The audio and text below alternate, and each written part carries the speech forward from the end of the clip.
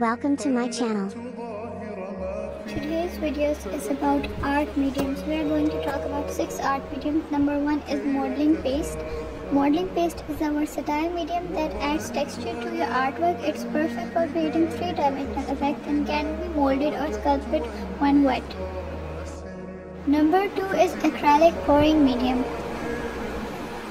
Pouring medium is used in acrylic pouring techniques to achieve mesmerizing fluid art.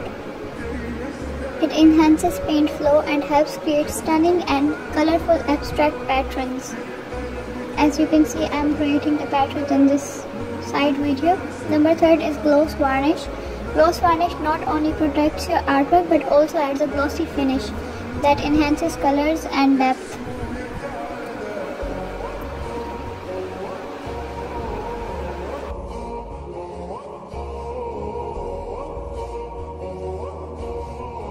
Number 4 is fixator spray. Fixator spray is essential for preserving delicate pencil drawing. It prevents smudging and helps your artwork stand the test of time. Number 5 is gesso. Gesso is the foundation of many paintings. It's used to prime surfaces providing a smooth surface. Number 6 is resin. Resin is a fantastic choice for creating a glass-like high gloss finish on paintings. It adds depth and dimension, making your artwork look incredibly professional. Incorporating these painting mediums into your artwork can open up a world of creative possibilities. Thanks for watching this video. If you have any questions, you can ask in the comment section.